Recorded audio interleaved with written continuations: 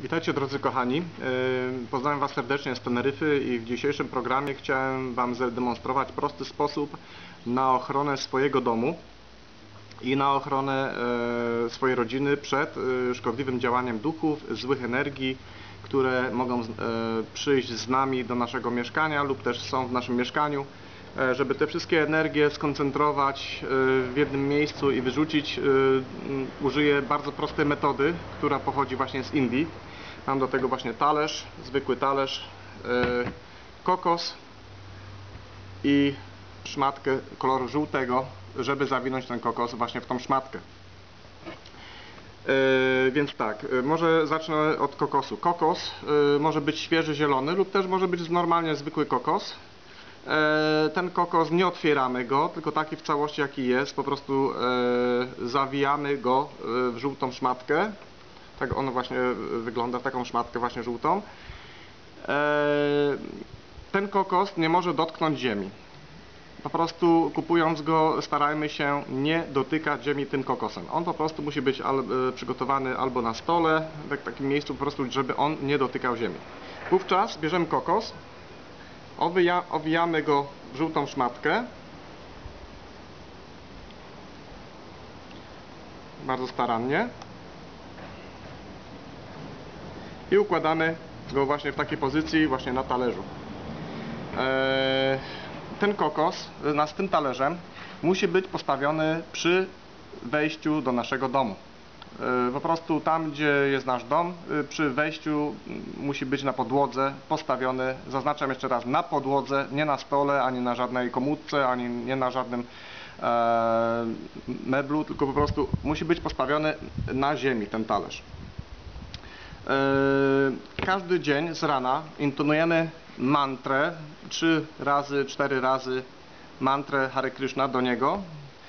Hare Krishna, Hare Krishna, Krishna Krishna, Hare Hare, Hare Rama, Hare Rama, Rama Rama, Hare Hare. Powtarzając trzy, cztery razy tą mantrę przy tym kokosie, bierzemy kadzidło, ofiarujemy, mm, ofiarujemy dla tego kokosa jedno kadzidło na dzień z rana i po prostu y, i niech on sobie tam leży, ten kokos, y, przynajmniej jakieś 3 tygodnie. Co spowoduje to? To spowoduje oczyszczenie się naszego mieszkania z wszelkiego rodzaju negatywnych y, wibracji, negatywnych e, reakcji e, karmicznych, jak również e, z, energii negatywnych, z duchów, z demonów i tak itc. itd. Ponieważ wielokrotnie przy, przynosimy z zewnątrz, y, czyli jesteśmy gdzieś w sklepie, jesteśmy gdzieś w centrum komercyjnym, jesteśmy gdziekolwiek, przynosimy również złe wibracje do naszego domu. Dlatego właśnie ten kokos posłuży nam y, jako takie oczyszczenie, y, skuteczne oczyszczenie, zaznaczam, y, naszego domu. I właśnie dzisiaj otrzymałem informację z Indii na temat, jak to po prostu trzeba zrobić. Ja zaznaczę, że po skończeniu trzech tygodni oczyszczenia domu tym kokosem, szmatkę e, razem z tym kokosem wyrzucamy na śmieci. Nie używamy ani szmatki, ani tego kokosa, po prostu wyrzucamy na śmieci, e, tylko bierzemy po prostu talerz, na którym ten kokos e, leżał, a wszystko inne zostaje po prostu wyrzucone na śmietnik. E, Dlaczego e, właśnie trzeba wyrzucić tą e, żółtą szmatkę na śmietnik i ten kokos? Ponieważ w tym kokosie, w tej szmatce będą skoncentrowane wszelkiego rodzaju negatywne energie e, z waszego domu.